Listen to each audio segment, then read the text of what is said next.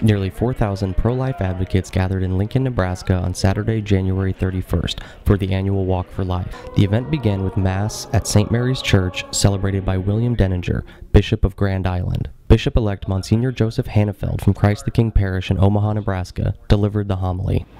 The pro life challenge, I think, begins within each of us.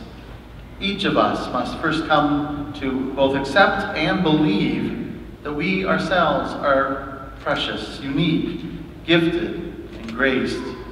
That each of us is a never to be repeated wonder in all of God's creation. And in that regard, God did not mess something up when He made us. Oftentimes, that's the big hurdle for many of us to believe in our, that our own life is sacred and precious to Him. Before the participants began their walk from the state capitol to the University of Nebraska's Student Union, prayers were offered and hundreds of balloons were released to commemorate the victims of abortion. May their minds help them to find words that are persuasive without watering down the message. May they see that the family is a blessing on society and not a liability. May they have the courage to stand up for the unborn, especially when it is not popular, when fellow legislators mock and pressure them to give up on just legislation that protects life. We ask you to be with us all, that we may work united to protect life during this 42nd anniversary of Roe versus Wade, we consider the past four de- the past four decades in which our society has legally permitted abortion. Since that tra- tragic decision, many children's lives have been lost, and many suffer that loss, often in silence.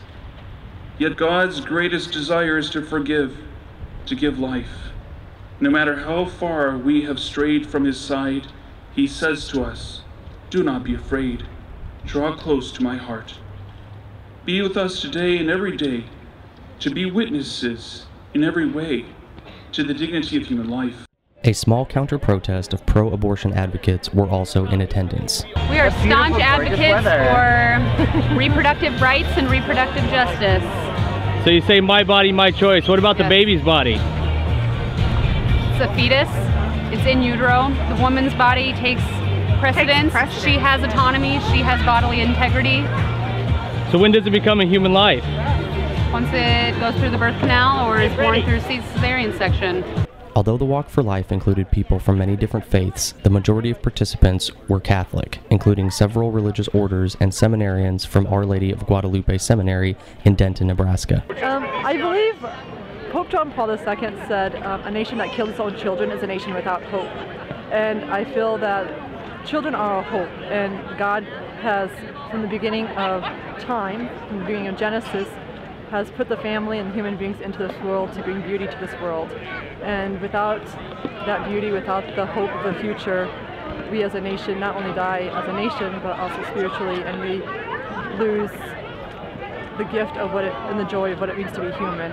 So, you know, a bunch of us out here today walking for uh, the cause of life uh, from the beginning of its conception in the womb until natural death. Uh, today in this culture that we live in, uh, it's not respected. Uh, and we see in our culture that it leads to other uh, horrible crimes against life. Um, and I think this prayer for witness that you see today, many children, families, religious, out here showing peacefully and in the spirit of charity that Christ taught, uh, they're their witness to life. Uh, and I think uh, that that charity uh, is necessary in all of our uh, efforts uh, to promote the, this this culture of light that St. John Paul II so often preached. that spirit of charity, because as as Saint Paul said, you know, charity is the bond of perfection.